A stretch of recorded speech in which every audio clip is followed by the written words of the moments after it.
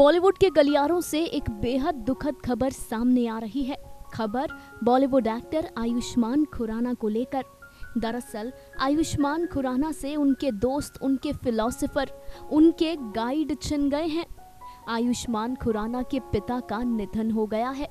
जिन्हें नहीं पता, उन्हें सबसे पहले तो ये बता दें कि एक्टर के पिता होने के अलावा उनकी अपनी पहचान भी थी।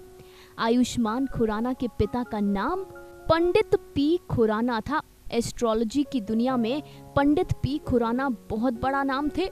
उन्होंने एस्ट्रोलॉजी पर कई किताबें लिखी।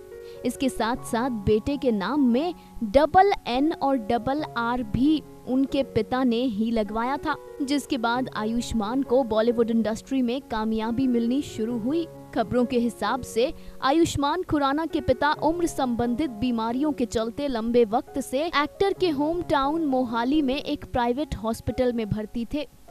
आज सुबह साढ़े दस बजे एस्ट्रोलॉजर ने अंतिम साँसें ली। ये भी बता दें कि आयुष्मान कई बार अपने सोशल नेटवर्किंग अकाउंट पर पोस्ट के ज़रिए अपनी ज़िंदगी में अपने पिता की अहमियत को बता चुके हैं। आयुष्मान बता चुके हैं कि कैसे वो जो कुछ भी बने, अपने पिता की वजह से बने, कैसे उनके पिता से ही उनमें कला के प्रति प्रेम आया। पिता का निधन, आयुष्मान और उनके छोटे भाई अपार शक्ति, दोनों के लिए बेहद मुश्किल समय है। उम्मीद करते हैं कि इस मुश्किल समय से एक्टर्स उभर पाए। Final cut news desk